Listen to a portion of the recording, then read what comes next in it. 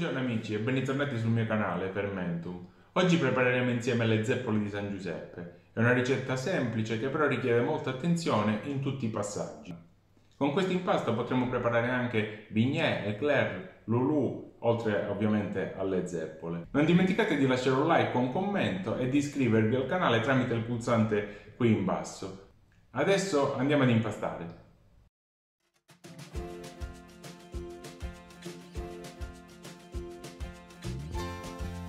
Versiamo l'acqua in una pentola.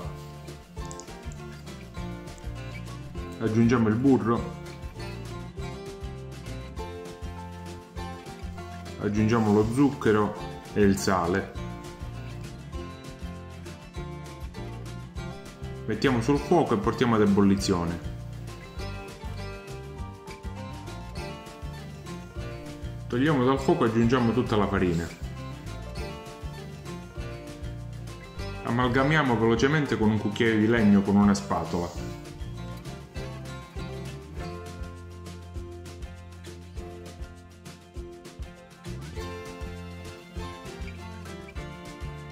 Riportiamo sul fuoco qualche secondo fino a quando il composto non sarà abbastanza sodo. Lasciamo intiepidire e aggiungiamo le uova, una per volta.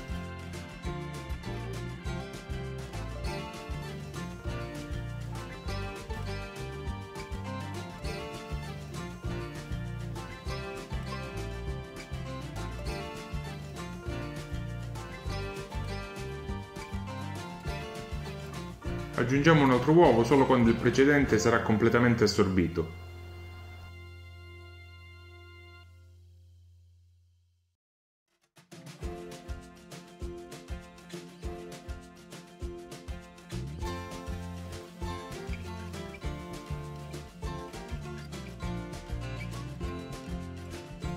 Una volta incorporate tutte le uova, l'impasto risulterà semilucido e con la giusta consistenza. Prelevandone una parte dovrà rimanere aggrappato al cucchiaio. Mettiamo l'impasto in un sacco a poche con una bocchetta abbastanza larga e formiamo le nostre zeppole.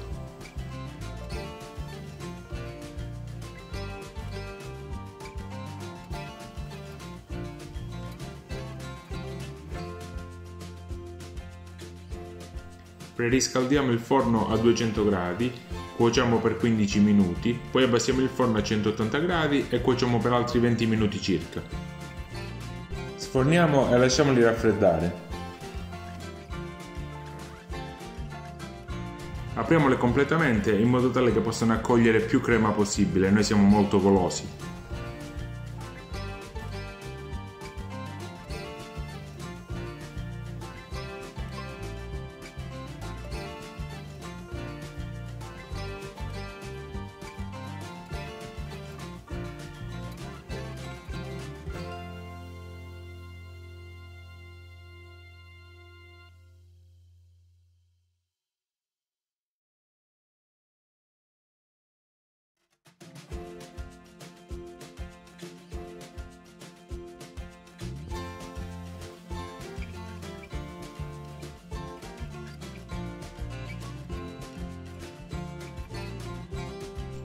Guardate che spettacolo, completamente vuote.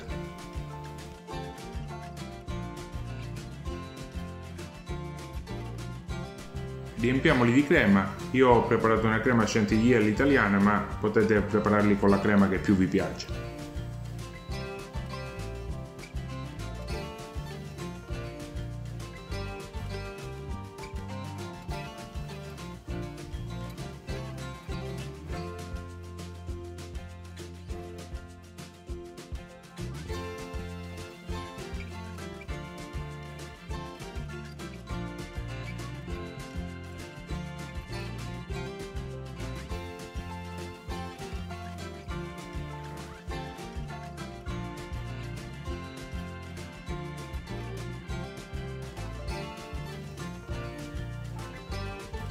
cospargiamo bene di zucchero a velo.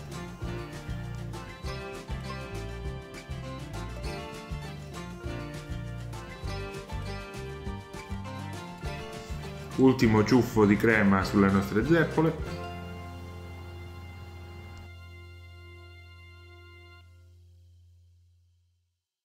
Ed infine le marene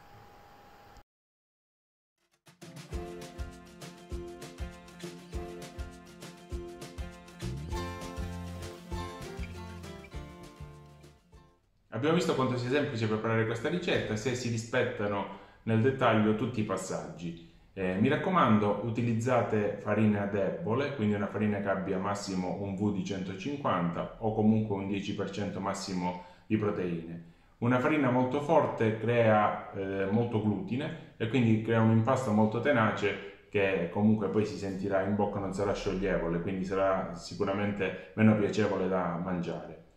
È importante inserire le uova una per volta, quindi inserire il successivo solo quando il precedente sarà stato completamente assorbito dall'impasto. Alla fine, quando avremo inserito tutte le uova, avremo un impasto semi-lucido e di una consistenza tale che una volta alzato una parte di impasto con un cucchiaio, eh, rimarrà comunque aggrappata al cucchiaio, formerà quasi un triangolo eh, sul cucchiaio stesso. Importantissima infine sarà la cottura. Dovremmo dare uno shock termico all'inizio, quindi partiremo con 200 gradi, quindi con un forno ben caldo a 200 gradi, li faremo quindi esplodere eh, l'impasto per poi abbassare la temperatura a 180 gradi e quindi finire la cottura asciugando bene poi all'interno l'impasto.